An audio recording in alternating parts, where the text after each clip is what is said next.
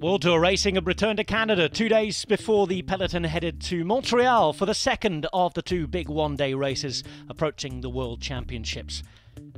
With the time trial a week away in Australia, the road race in two weeks' time, this was the last big opportunity for everybody to warm up for the battle for the rainbow jersey with a 221 kilometre race around the city of Montreal in Canada.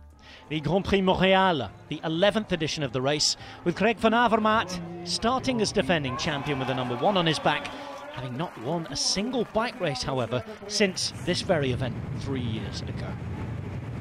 A really warm day on Canadian roads and a good six man break up the road, headed by Antoine Duchesne, riding his final race as a professional cyclist.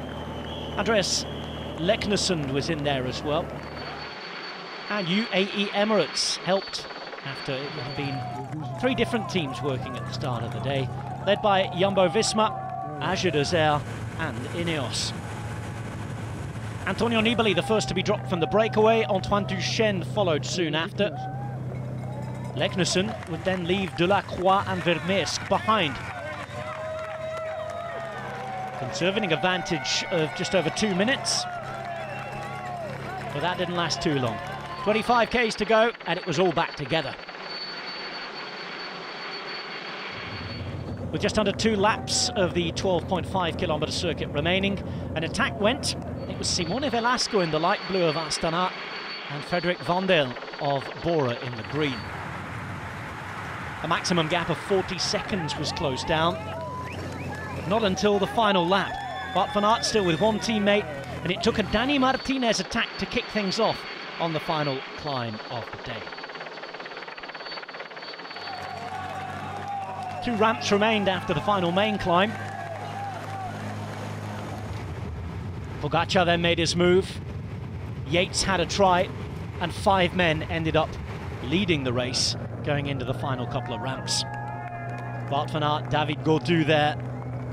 Behind, Romain Bardet would try to join the party, but he'd be well marked.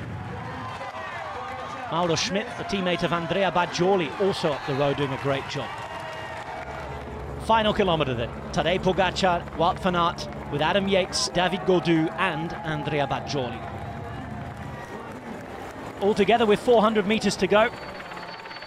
Gaudu waited, found an opportunity with a bit of space, and after almost six hours of racing, he'd be the first to launch the sprint.